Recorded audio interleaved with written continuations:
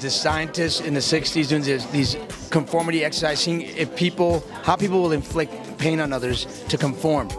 You know, because it's basically based on um, what happened in Nazi Germany. It's like how, how did people, were how normal citizens able to partake in this violence? I think a lot of us in our daily lives have to admit that we are blindly complying with authority, that we are not actually looking at why we're doing what we're doing. We're doing it because we've been told to do it that way. And a lot of times it's helpful, like with a red light, but sometimes it's it's not. Yeah, it's a great script, really great.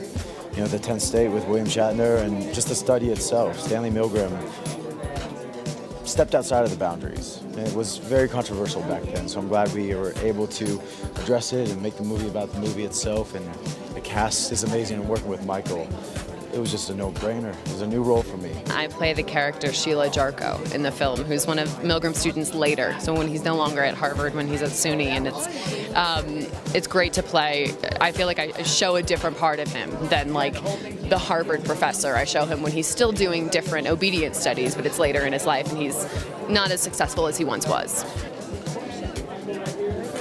Well, it's based on a real guy, and the more I learned about him, the more exciting and captivating his ideas are and his the circumstances of his life. And it's also about his marriage. He had a really interesting, exceptional marriage. And so Winona Ryder plays the wife of Peter Sarsgaard, the, the main guy. And it's I felt it was a, a heart, what's a heartening story. Luckily, one of the people is still alive, and we, we met with her, and there are videotapes and photographs. And then, then they're liberated to make it their own. No one was doing an imitation. No one was trying to copy the real people, but they were informed by. They distilled some essence of their personality. And that was just a. It was just a, a, a real gift. It's also, you know, you do feel a big responsibility um, to get it right. Um, but she was just wonderful and generous, and she's like a spark. She's just an incredible woman. So it was a real privilege. I think the whole movie is is uh, is really amazing how it shows about obedience about people and. Uh, and it's it's really relevant until uh, every day. If you open the news, you see how people are acting, and you don't understand why they go after um, authority.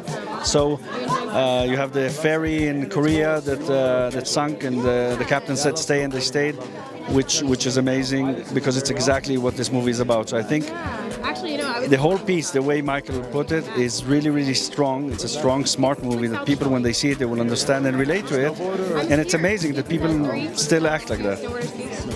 Well, that was just a terrific red carpet. We're here at the Experimenter. We got to talk with producers, the director, stars, bona fide A-listers. What a great payoff we've had here out at the Eccles. You're watching Park City Television and our Sundance 2015 coverage. Stay tuned.